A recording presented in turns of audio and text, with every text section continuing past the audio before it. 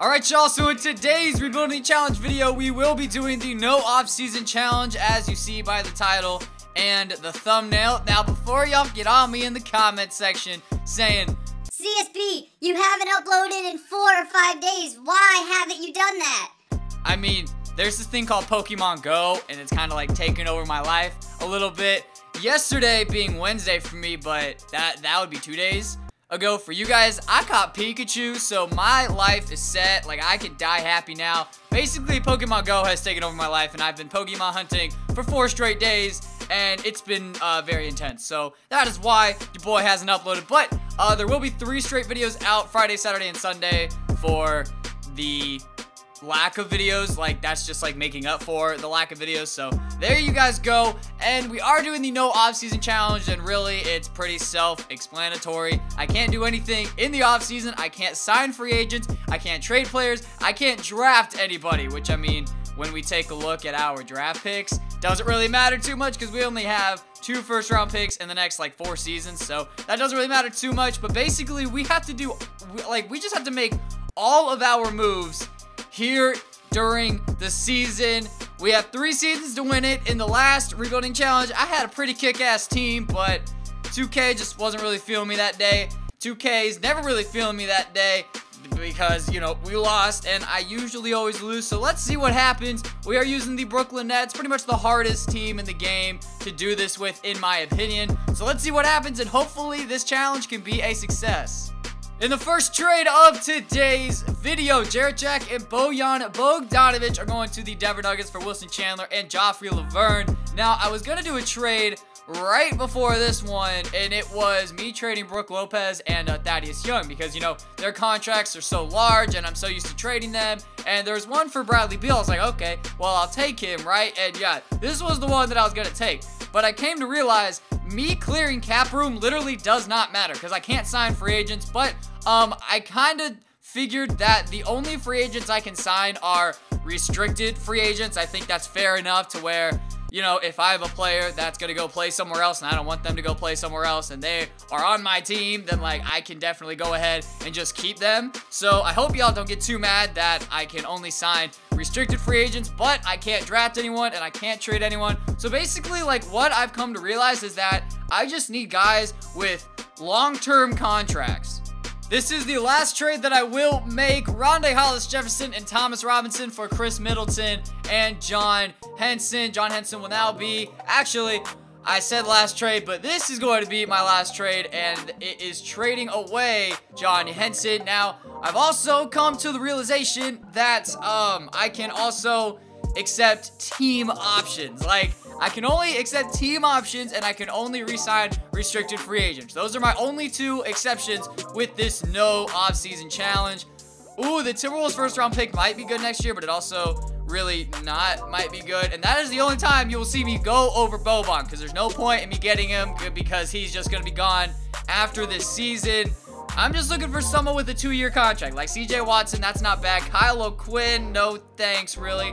Uh, Belinelli is looking like the best bet right here. And that is the deal that I'm going to take. So, Mr. Marco Belinelli and Seth Curry, welcome to Brooklyn. And now I am done making trades. This is going to be a lot more difficult than I think that it will be. And while, you know what, just while I am at it, Mario Chalmers, just kidding, I can't get him because the roster's full. Let's just release Chris McCullough because he wasn't going to get any playing time anyway. Mario Chalmers, you are now our new starting point guard because I don't really want uh, who was good? Yeah, I don't I don't really want Donald Sloan being our starting point guard. So this is what our rotation is looking like here in season one. We got Mario Chalmers, Khris Middleton, Wilson Chandler, Thaddeus Young, and Brook Lopez off the bench. We do we do have Joffrey Lauvergne, Sean Kilpatrick, Donald Sloan, and then Marco Belinelli. I mean, I'm gonna run a 10-man rotation because I really want Seth Curry to get some minutes.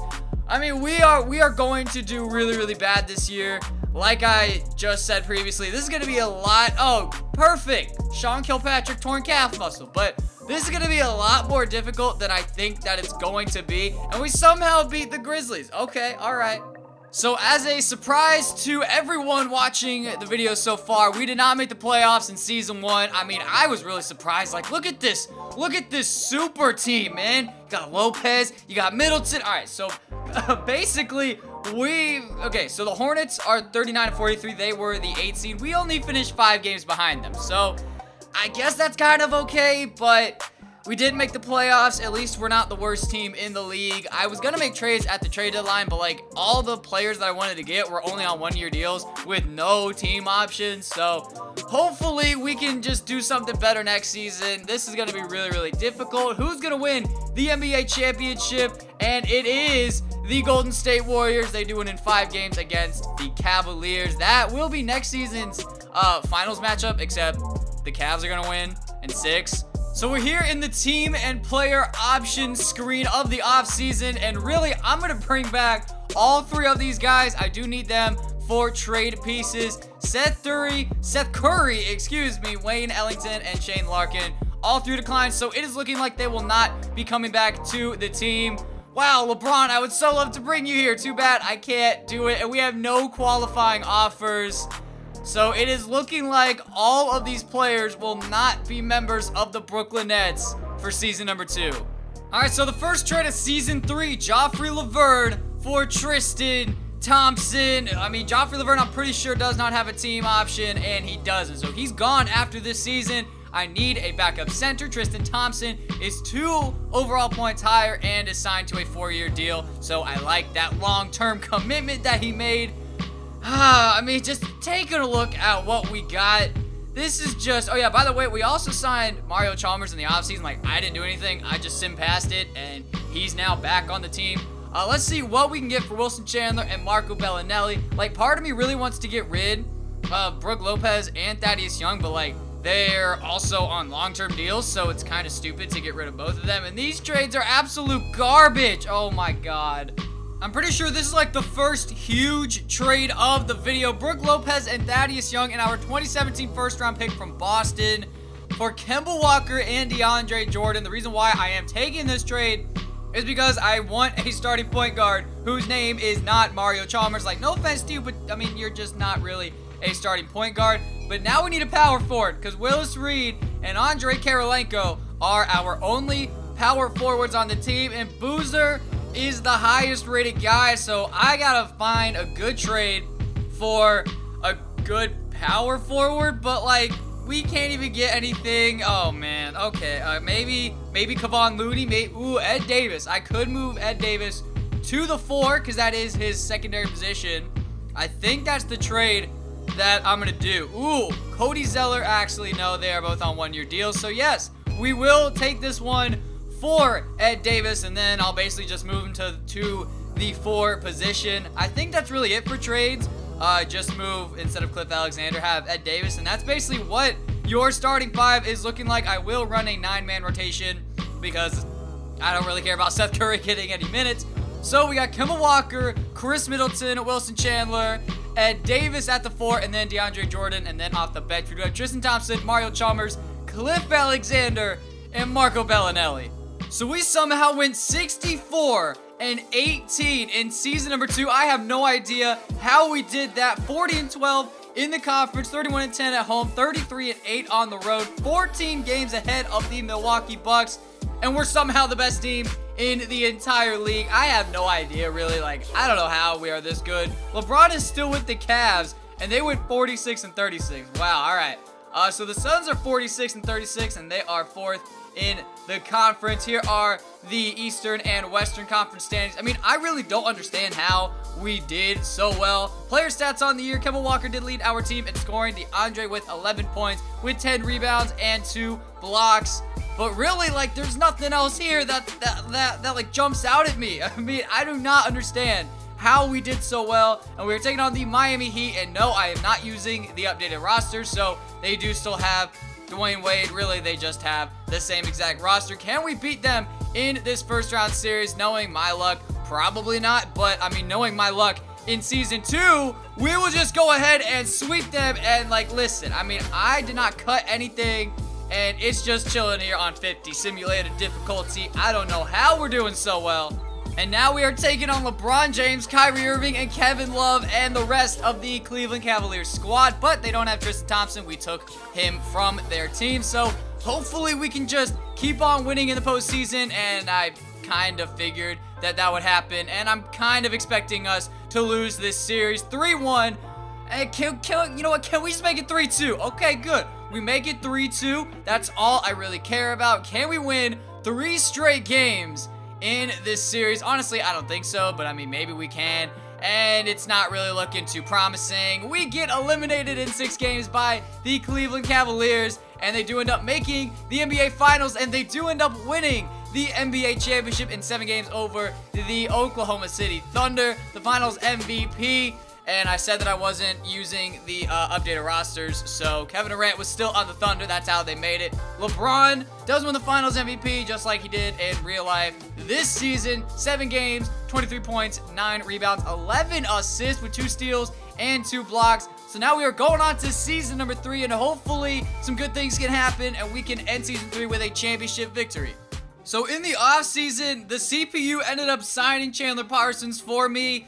I don't want him on the team, so I will go ahead and trade him, even though he is a higher overall than Wilson Chandler. I just hope that they take that out of uh, NBA 2K17. Like, they don't have this in the game where your your team, when you simulate, just signs random players. I really hope that they take that out of the game. It's really stupid and pointless. Like, I don't want Chandler Parsons, but, I mean, he is a higher overall than Wilson Chandler, so if I can't find a good trade for him, I mean, I will I will definitely keep him. Rudy Gay, MKG. This one is tempting.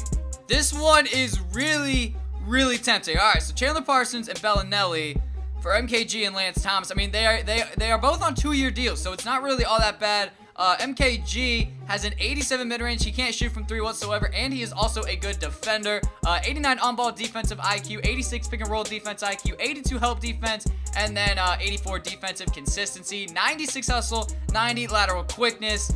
I think I'm going to pull the trigger. MKG, welcome to Brooklyn. Now, will I trade Lance Thomas? I have no idea because taking a look at my small forwards, I do have Wilson Chandler, I do have Matt Barnes, I have Lance Thomas, and I got MKG, so I have way too many small forwards. Let's see what I can get for Wilson Chandler and Lance Thomas. Just show me something good, 2K. Show me a good power forward. A good power forward would be really nice. I mean, there's this one for Harrison Barnes and Tyler Johnson. Uh, Dennis Smith Jr., the dude's a beast in 2K, but I don't want to really wait on him to progress. Michael Beasley is an option. Hezonja is really tempting because when I take a look at, at my backup shooting guard, it's Kyle Korver. So honestly, that one for Hezonja is looking like the best deal so far. Kent Bazemore, but I mean, I don't necessarily need him a whole lot. I want a shooting guard that can shoot. Hezonja, 86 mid-range, 84 standing shot 3, 85 moving mid-range, and 82 moving 3. You are now the newest member of the Brooklyn Nets, but Tyson Chandler, I don't want you. So I think I'm uh, only going to make three trades here in season number three. And then we're just going to see how we do. Tyson Chandler, what can I get for you? Someone just give me a power forward. Um, nothing really too crazy showing up. Cristiano Felicio. Yeah, these trades are kind of trash. Um, you know what? Let's just go with, let's go with Brandon Bass. Let's just go with uh, Brandon Bass because I believe I do need a backup four because when I take a look at my power forwards, actually I didn't really need him, but you know what? It's fine. Here's what our, our rotation is looking like. We got Kemba Walker, Khris Middleton, Michael Kidd-Gilchrist, Ed Davis, and DeAndre Jordan. And then off the bench, we do have Tristan Thompson, Mario Chalmers, Mario Hezonja, and Cliff Alexander. This is gonna be interesting because like last year we went like what 64 and 18 and we lost in the second round. But this year I feel like we do have a much better team. This is the final year I can make all the trades I want. Hopefully we can end this year with a championship victory. So at the end of season number three, we did not finish with as great of a record as we did last season, but we are still 58 and 24 first in the Eastern Conference, and we did tie with the Oklahoma City Thunder for the best record in the Western Conference. The Sixers go 52 and 30 with this crazy lineup. Markelle Fultz, Danny Green, Terrence Ross, Giles. I'm pretty sure it's Giles. It's no, Giles. No, it's Giles. You know what? I don't know. Tell me in the comment section if it's a hard G or a soft G because I always mess that up. The Cavs, 50 and 32, they are your defending NBA champions. They did add Gerald Green and Mitch McGary, but really nothing else in the East is too crazy. And then out West, really nothing too crazy other than like the four, the the first five teams. Excuse me. I mean Minnesota, like this team always does well in 2K. Don't really, uh, actually, I do, I do understand how Kemba Walker was once again our higher, highest score on the team. Khris Middleton and Mario Hezonja putting up basically identical numbers when it comes to points per game. Really kind of similar numbers when it comes to all of those categories. Tristan Thompson, okay, so right knee day to day. As long as no one is like hurt for a long time, then I'm fine, and that is exactly the case. So in round round number one, we are taking on the Charlotte Hornets. Now, we did give them Brook Lopez and Thaddeus Young, but Thaddeus Young is no longer on the Charlotte Hornets. I mean, really, I feel like we could beat this team. And of course, we lose game number one. That that that makes a lot of sense because I usually lose. Cut no, stop it. We are not doing this again where we go to another game seven. We're not doing this where I go to another game seven. I hate playing game sevens more than anything in 2K, and I'm pretty sure we just lost. Pretty sure we just no we didn't. Oh wait. Hold on. Hold you know what? Oh my god. Two point game. One point game. Are you kidding me? All right, so good news. We do have the ball. We have 24 seconds to basically win this game and advance to the second round. Shout out to everyone that is going to say that I did not complete the challenge because I jumped in because I'm a wimp that can't handle losing. DeAndre Jordan, easy one-handed slam. They have no timeouts. I kind of scored a little bit too fast, though, because they have 12 seconds to get a shot off, and you guys know how bad my defense is, and really just how bad I am in 2K. Kemba Walker is guarding Nicolas Batum. I really don't like that. They're giving it to Brook Lopez. No, you are not making that. Get that out of here. That's how the game ends, and the Brooklyn Nets are on to the second round of the of the playoffs. And in round number two, we are taking on my favorite team, the fourth seeded Indiana Pacers. Here's who they have on their team. They got Paul George, Miles Turner, De'Aaron Fox, JaVale. Really nothing too crazy happening. I think we have a great chance to beat this team, but I mean, if we just went to seven against the Hornets, we're gonna get swept by the Pacers. Or 3-1, okay, I'm fine. 3-2, let's make it 3-3, let's go! We're going to a game seven. We are going, oh, DeAndre's hurt. That's why we lost. DeAndre's hurt. What? Yo, the Pacers got Boban. Thank goodness. Thank goodness the Pacers got Boban. All right, well, it's only a bruised left knee day to day. I'm not really too worried, and we just lost. No, we didn't. No, we didn't. We are winning this game. We are winning this game, and we are on to the Eastern Conference Finals. The first time in this video that we are on to the Eastern Conference Finals, and we're taking on the Philadelphia 76ers, and I basically already showed you guys their team, but if you weren't paying attention, here it is right now. The winner of the series takes on either the Oklahoma City Thunder or the Golden State Warriors. Wow, we actually won a game one. That is so surprising, but we're probably going to go to seven games. I mean, just knowing my luck, we're going to go to seven. Three, two, can we win it? Yes, yes, we can. Finally, we don't go to a game seven, and we're taking on the Oklahoma City Thunder. Yay, I love facing this team with Durant and Westbrook and Kanter, and really, that's all they, I mean, the, their first like six players are really solid. Ilyasova's nice, Christian Wood, but I'm not really too scared about this team. I like our chances. We finish with the same record, but they do hold the tiebreaker. But we win game one on the road. They win game two at home. They take the 2-1 lead and the 3-1 lead. It is not looking good for us. Oh, Khris Middleton's hurt. Oh, yay. Yay. That really makes me very happy. Bruised right hip, out for the season, and we probably are going to lose this game. That's just what I'm expecting to do. And we just lost by 12 points in game number five. Well, hey, you know what? At least we won game number one, and at least we didn't go to seven again, but I'd much rather go to seven than lose in five games. All right, so Kevin Durant wins the finals MVP. Still on the Thunder. I hate you, Kevin Durant. Sorry, fam. Uh, Richard Jefferson, Tyson Chandler. Really, no one too notable retires. Matt Barnes, David West, uh, Andre Kirilenko. Really, no one too crazy. And like I do in every single rebuilding challenge video, I will simulate to a fourth season just to see how we do and to see if everything is great and hopefully we can win the championship in season four like in the no trade finder challenge we ended up winning it in season four when i thought that we should have won it in season three but like in the end, I am very happy with this team. I didn't think that we were going to make it to the NBA Finals in season three. I didn't think that we would be the number one seed in back to back seasons, those being seasons two and three. So, this is what the final championship roster is looking like. We got DeAndre Jordan, Kemba Walker, Khris Middleton, Michael Kidd Gilchrist, Ed Davis, Tristan Thompson, Mario Chalmers, Mario Hezonja, Cliff Alexander, Brandon Bass, Kyle Korver, Ronnie Price, and then Matt Barnes, who did end up retiring. Thank you guys so much for watching. Make sure to leave a like on the video and subscribe if you guys did enjoy. Let me know down in the comment section what type of rebuilding challenges you guys want to see and really what kind of videos you want to see from me because 2K is so dead and so boring. So I don't know if you guys want to see these rebuilding challenges anymore or if you want to just see me do throwback games strictly on the channel until 2K17 or Madden 17. So just let me know that down in the comment section down below, and I will see you guys all next time. Peace.